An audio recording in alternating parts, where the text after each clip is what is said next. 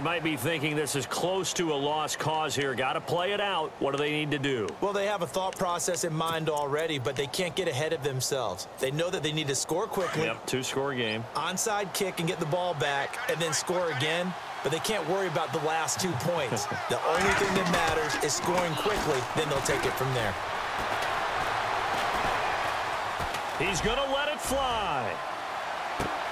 And this is intercepted, and that should do it. It's Desmond Trufant.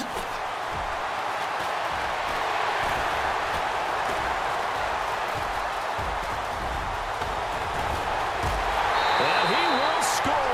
Touchdown, Falcons.